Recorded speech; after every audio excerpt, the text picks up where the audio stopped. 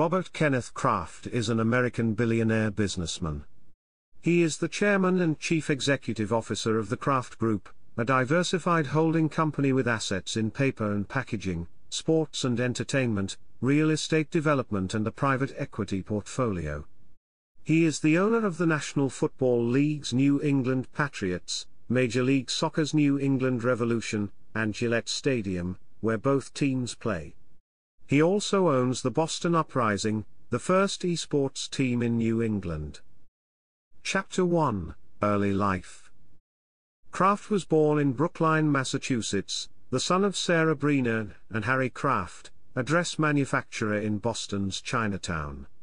His mother was born in Halifax, Nova Scotia, his father was a lay leader at Congregation Kehillath Israel in Brookline, and wanted his son to become a rabbi. The Krafts were a modern Orthodox Jewish family. Robert attended the Edward Devotion School and graduated from Brookline High School in 1959, where he was senior class president. As a child, he sold newspapers outside of Braves Field in Boston. During high school, he was unable to participate in most sports because it interfered with his after-school Hebrew studies and observance of the Sabbath. Kraft attended Columbia University on an academic scholarship and he served as class president. He played running back and safety on the school's freshman and lightweight football teams. He met Myra Hyatt at a delicatessen in Boston's Back Bay in 1962, and they married in June 1963. He graduated from Columbia that same year, and he received an MBA from Harvard Business School in 1965. Kraft was elected chairman of the Newton Democratic City Committee when he was 27. He considered running against Representative Philip J. Philbin in 1970 but chose not to, citing the loss of privacy and strain on his family that politics would have caused. He was further discouraged from entering politics by the suicide of his friend State Representative H. James Shea Jr. Chapter 2 Business Career Kraft began his professional career with the Rand Whitney Group, a Worcester-based packaging company run by his father-in-law Jacob Hyatt. In 1968, he gained control of the company through a leveraged buyout. He still serves as this company's chairman. In 1972, he founded International Forest Products, a trader of physical paper commodities. The two combined companies make up the largest privately held paper and packaging companies in the United States. Kraft has stated that he started the company out of a hunch that the increase in international communications and transportation would lead to an expansion of global trade in the late 20th century. International Forest Products became a top 100 U.S. exporter-slash-importer in 1997 and in 2001 was ranked number 7 on the Journal of Commerce's list in that category. Kraft said of the business in 1991 that, we do things for a number of companies, including Avon, Kodak, cosmetics companies, candies, toys. The company produced both corrugated and folding cartons, which he stated, I used to package everything from the Patriot missile, to mints, to Estee Lauder, Indiana Glass, and Polaroid. Kraft acquired interests in other areas, and ultimately formed the Kraft Group as an umbrella for them in 1998. Kraft was an investor in New England Television Corporation, which gained control of MAC TV in 1982, and Kraft became a director of the board in 1983. The station then became WNEV-TV. In 1986, he was named president of the corporation. In 1991, Kraft exercised his option to unload his shares for an estimated $25 million. Chapter 3 Sports Teams Chapter 3 Section 1 Boston Lobsters and Early Bids for Sports Teams in 1974, Kraft and five others purchased the Boston Lobsters of World Team Tennis. The group spent heavily to lure a number of top players, including Martina Navratilova, and the Lobsters became one of the best teams in WTT. Following the 1978 season, Kraft announced that the franchise would fold. The league itself folded soon thereafter. After the Lobsters folded, Kraft was also mentioned as a bidder for the Boston Red Sox and the Boston Celtics. Chapter 3 Section 2 New England Patriots Kraft has been a Patriots fan since their American Football League days and has been a season ticket holder since 1971 when the team moved to Schaefer Stadium. In 1985, he bought a 10-year option on Foxborough Raceway, a horse track adjacent to the stadium, and the purchase prevented Patriots owner Billy Sullivan from holding non-Patriot events at the stadium while races were being held. Kraft took advantage of the fact that the Sullivans owned the stadium, but not the surrounding land, and it was the beginning of a quest to buy the stadium and the Patriots. Sullivan's family was reeling from a series of bad investments, principally the Jackson 5 1984 Victory Tour, for which they had to pledge Sullivan Stadium as collateral. Those problems ultimately forced Sullivan to sell controlling interest of the team in 1988, while the stadium lapsed into bankruptcy. In 1988, Kraft outbid several competitors to buy the stadium out of bankruptcy court from Sullivan for $22 million. The stadium was considered to be outdated and nearly worthless, but the purchase included the stadium's lease to the Patriots which ran through 2001. Kraft placed a bid on the Patriots franchise as well, but he lost the bidding to Victor Kiam. Sullivan and Kiam then tried to move the team to Jacksonville, but Kraft refused to let them break the lease. Kiam was nearly brought down by bad investments of his own and was forced to sell the Patriots to James Orthwein in 1992. In 1994, Orthwein offered Kraft $75 million to buy out the remainder of the team's lease at Foxborough Stadium, but Kraft turned it down. Orthwein was not interested in operating the team in New England and decided to sell it.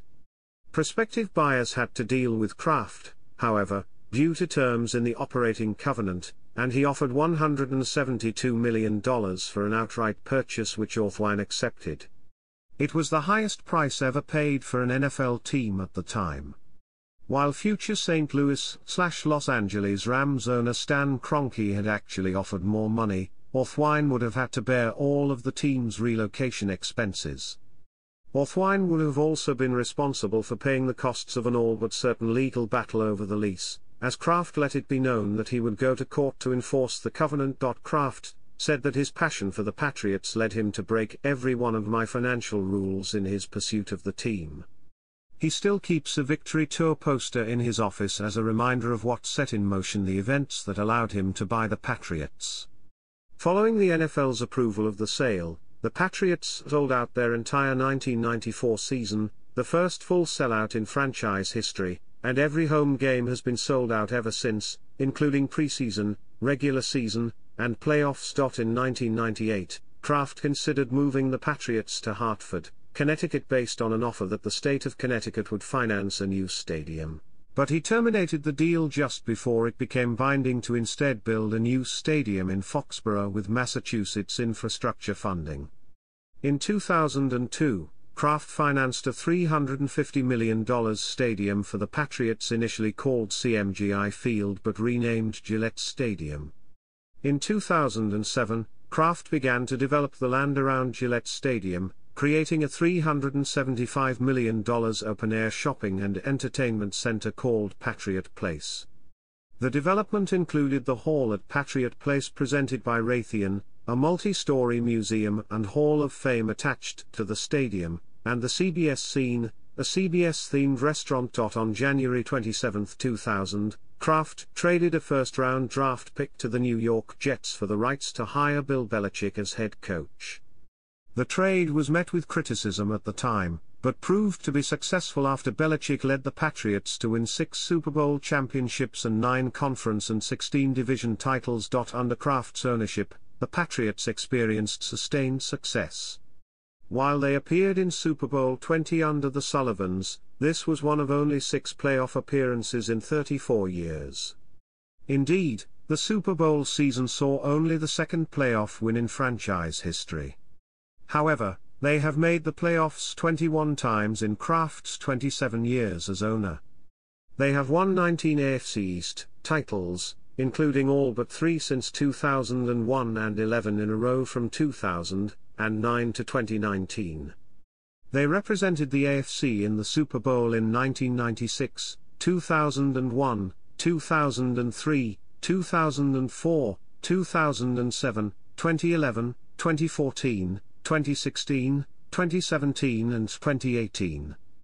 After having never won more than 11 games prior to Kraft's arrival, the Patriots have won at least 12 games 14 times, including finishing the 2007 regular season undefeated before losing to the New York Giants in Super Bowl 42. Indianapolis Colts center Jeff Saturday said of Kraft, he is a man who helped us save football. In 2005, Kraft gave Russian President Vladimir Putin one of his three Super Bowl rings out of respect and admiration for the Russian people and Putin's leadership. Kraft later said that his earlier statement was not true and had been issued under pressure from the White House. The ring is on display with state gifts at the Kremlin. Former patriot Ryan O'Callaghan wrote in his book that Kraft supported him when he publicly came out as gay in 2017. According to O'Callaghan, Kraft invited him to a reception and said, What you did took a lot of courage. I'm so proud of you and that he would be forever a patriot. Chapter 3 Section 3 Soccer In 1996, Kraft founded the New England Revolution, a charter member of Major League Soccer which began playing alongside the Patriots at Foxborough Stadium. Kraft also owned the San Jose Clash from 1998 to 2000. In November 2005, Kraft met with Rick Parry, the chief executive of English Premier League team Liverpool. Kraft was rumored to be interested in investing money into the 2004-05 Champions League winners. Kraft told BBC Radio 5 Live, Liverpool is a great brand and it's something our family respects a lot. We're always interested in opportunities and growing, so you never know what can happen. Eventually, however, the club was sold to American duo George Gillett and Tom Hicks. Liverpool is now owned by Fenway Sports Group, owners of fellow Boston-based sport team the Boston Red Sox. In October 2017, Kraft said he was still intrigued by the possibility of buying a Premier League football club, but that he was concerned about the lack of a salary cap in British football. In 2017, Kraft was named the honorary chairman of the board of directors for the successful joint Canadian-Mexican American bid for the 2026 FIFA World Cup. In 2019, Kraft hired Bruce Arena as head coach and sporting director of the New England Revolution. In 2020, the team had their first playoff win in six years. Chapter 3 Section 4 Esports Blizzard Entertainment announced in July 2017 that Kraft bought ownership in the Boston Uprising, one of the first seven teams for the professional esports Overwatch League. They play in Season 1 of the Overwatch League. Pre-season for the league began December 6, 2017, and the regular season started on January 10, 2018. Boston Uprising finished third in the Overwatch League's inaugural season. Chapter 4 Philanthropy The Krafts have donated hundreds of millions of dollars to a variety of philanthropic causes including education, child and women-related issues, healthcare, youth sports and American and Israeli causes. Chapter 4 Section 1 Israel and Jewish Causes In 1989, Myra and Robert Kraft launched the Passport to Israel Fund, in collaboration with Center for Jewish Progress of Greater Boston, to help parents send their teenage children to Israel. In 2000, Kraft donated $11.5 million to construct the Columbia slash Hillel which is made of the same white stone used in Jerusalem. One of their most distinctive projects is supporting American football Israel, including Kraft Family Stadium in Jerusalem and the Kraft Family Israel Football League. In 2017, Kraft announced a contribution of $6 million to build the first ever regulation size American football field in Israel.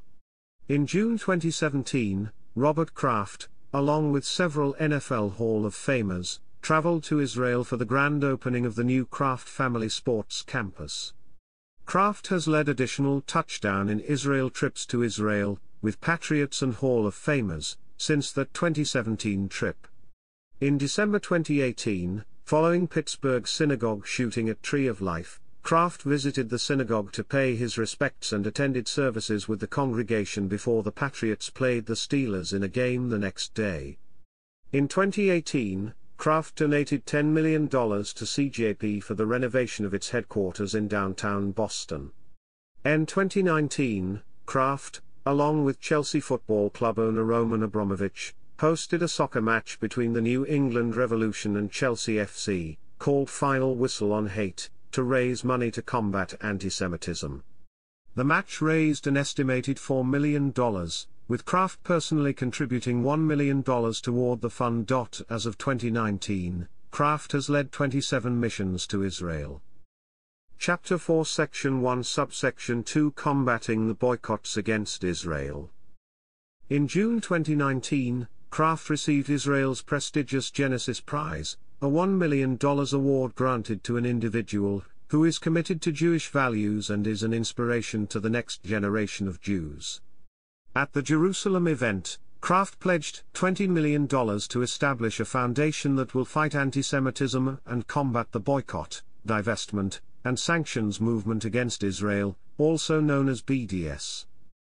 Chapter 4 Section 2 Education In 1990, Kraft, his wife, and his father in law funded a joint professorship between Brandeis University and Holy Cross College forming the Kraft Hyatt Endowed Chairs in Comparative Religion, the first interreligious endowed chairs in the United States. Among the many institutions the Krafts have supported are Columbia University, Harvard Business School, Brandeis University, the College of the Holy Cross, Boston College, Tufts University, Yeshiva University, the Belmont Hill School, and the Boys and Girls Clubs of Boston.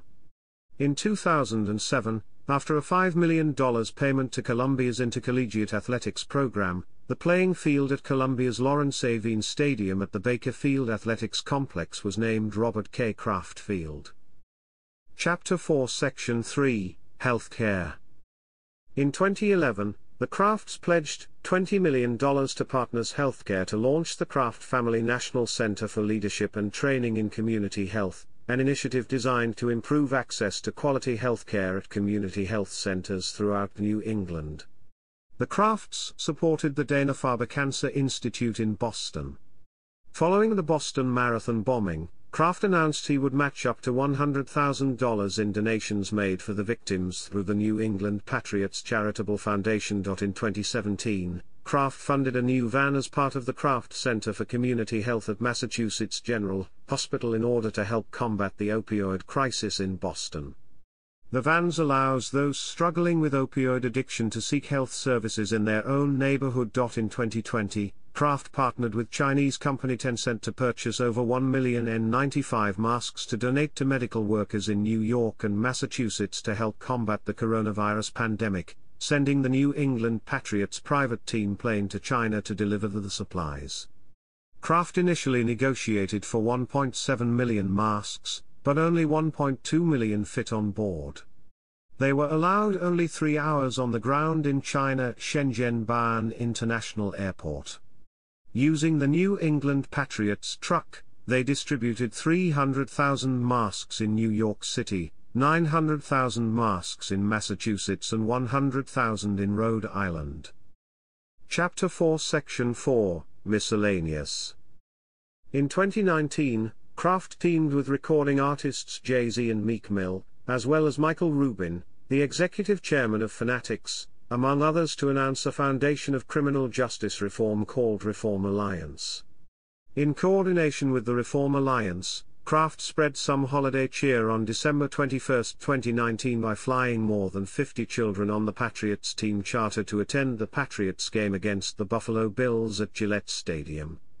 The children attending the game each had parents who have been incarcerated for technical probation violations. Kraft donated $20,000 and attended the memorial in Worcester to honor fallen firefighter Christopher Roy on the one year anniversary of his death. In May 2020, Kraft put his Super Bowl 51 ring up for auction with proceeds designated to help feed those facing food insecurity as a result of the coronavirus pandemic. On July 13, 2019. Kraft pledged $100,000 to the families of seven motorcyclists killed in a crash the month before. Kraft joined thousands of bikers at a memorial event for the victims outside Gillette Stadium in Foxborough, Massachusetts, and pledged to donate the money to a GoFundMe page set up to assist the victims' families.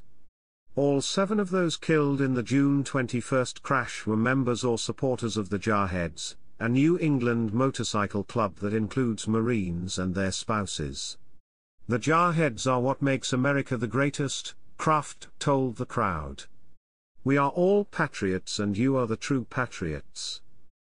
Chapter 5 Personal Life Chapter 5 Section 1 Family In June 1963, Kraft married Myra Natalie Hyatt, a 1964 graduate of Brandeis University and the daughter of the late Worcester, Massachusetts, businessman and philanthropist Jacob Hyatt. She died due to ovarian cancer, aged 68, on July 20, 2011. The Krafts were members of Temple Emanuel in Newton, Massachusetts. A patch bearing Krafts initials appeared on the Patriots uniform jersey throughout the 2011 season. The couple had four sons. Jonathan A. Kraft, born March 4, 1964, president of the Kraft Group and the New England Patriots. Daniel A. Kraft, president of International Forest Products, founded in 1972 by his father. Joshua M. Kraft, president and CEO of the Boys and Girls Clubs of Boston. David H. Kraft, former director at the Kraft Group. Chapter 5 Section 2 Ricki Noel Lander. In June 2012, Kraft began dating actress Ricki Noel Lander. In July 2012, Kraft assisted Lander in creating an audition video for a role in The Internship, a then upcoming Vince Vaughn slash Owen Wilson film. In the video, Kraft reads Wilson's lines for a bikini clad Lander, dances briefly, curses, and throws a punch at another actor. After an anonymously supplied copy of the video was hosted on the Barstool Sports website, it went viral and became a subject of commentary on late night television. In a statement, Kraft said, I tried to help Ricki prepare an audition tape, I never intended that it would be made public and I regret that it has. I think we can all agree that Owen Wilson has nothing to worry about. I am going to stick to my day job. Lander gave birth to a child in the fall of 2017. While there was speculation that Kraft was the father, he denied paternity of the child when the birth was announced in May 2018. Kraft and Lander broke up in 2018. Chapter 5 Section 3 2019 Solicitation Charges and Dropping of Charges. On February 22, 2019, the police chief of Jupiter, Florida, announced that Kraft would face two misdemeanor charges for soliciting another to commit prostitution, stemming from a human trafficking sweep in Jupiter. Investigators suspected the managers at the Orchids of Asia Day Spa, where Kraft was allegedly video recorded in sexual activity, were sex trafficking women, forcing the women to perform sex acts on clients. Deputies had begun to monitor the day spas, and were able to place hidden cameras inside the facility. They claim Kraft was caught on camera receiving the alleged acts, according to the lead investigator. A spokesperson for Kraft issued a statement to categorically deny that Mr. Kraft engaged in any illegal activity. On February 25, Dave Aronberg, state attorney for Palm Beach County, announced that Kraft was among 25 people facing first degree misdemeanor charges for soliciting prostitution at the Jupiter Day Spa. The next day, Kraft's attorney electronically entered a not guilty plea in Palm Beach County. Kraft has assembled a legal team to provide his defense, including Alex Spiro, William Burck, and Jeffrey Goldberger. On March 19, men arrested in the sting operation, including Kraft, were offered a plea deal that would require 100 hours of community service, attending classes concerning the dangers of prostitution, and paying a $5,000 fine for each charge count. While accepting the plea deal would lead to cases being expunged, it would require defendants to admit that they would have been found guilty had the case gone to trial. In a statement released on March 22, Kraft stated, I am truly sorry. His attorney William Burck has stated, there was no human trafficking and law enforcement knows it, while also asserting evidence in the case, from hidden cameras inside the spa and traffic stops, was obtained illegally. On March 26, Kraft's lawyers submitted a court filing, in which Kraft waives arraignment, pleads not guilty to all charges and requests a jury trial. On April 2, papers filed by Kraft's attorneys revealed that the hidden video cameras at the day spa had been installed when investigators entered the facility under the guise of a bomb threat in January. Kraft's legal team seeks to have the video recordings suppressed as evidence. His lawyers also sought to bar the videos from being released to the public. On April 17, Florida prosecutors said they cannot delay the release of records and that they intended to release pixelated videos. Later that day, Florida Circuit Court Judge Joseph Marx ordered that the videos not be released prior to a hearing. On April 23, Judge Leonard Hanser temporarily sealed the videos until a jury was selected or the case against Kraft was otherwise resolved. On May 13, Judge Hanser further ruled that prosecutors could not use the videos in their case against Kraft, as detectives did not do enough to minimize the invasion of privacy of other customers. On October 1, prosecutors submitted a formal appeal of that ruling to suppress video evidence. On August 19, 2020, a Florida appeals court ruled that law enforcement violated Kraft's constitutional rights when obtaining certain video evidence, and that the video would not be admissible in court. The following month, Florida prosecutors said they wouldn't appeal a court's decision on blocking the video, making it likely that the charges against him would be dropped. On September 24, 2020, it was announced that the charges against Kraft had been dropped due to lack of sufficient evidence. In January 2021, U.S. District Judge Rodolfo A. Ruiz II from Florida ordered that video recordings of Kraft and other customers at Orchids of Asia be destroyed. Chapter 6 Awards and Honors Kraft has received numerous honorary degrees from several colleges and universities and was awarded the NCAA's highest honor, when he received the Theodore Roosevelt Award, presented annually to a distinguished citizen of national reputation and outstanding accomplishments. In 2011, Kraft was inducted into the American Academy of Arts and Sciences. In 2012, he became the first NFL owner in the 43-year history of the honor to be selected for the George Halas Award by the Pro Football Writers of America. The award is presented annually to the NFL player, coach or staff member who overcomes the most adversity to succeed. 1987 Columbia University John Jay Award. Six-time Super Bowl champion 36, 38, 39, 49, Lee, 53. 2004 Columbia University Alexander Hamilton Medal. 2006 Theodore Roosevelt Award. 2012 George S. Halas Courage Award. 2013 Carnegie Hall Medal of Excellence Award. Football field named Robert Kraft Field in his honor at Columbia University. 2015 Honorary Doctorate in Humane Letters from Yeshiva University 2019 Genesis Prize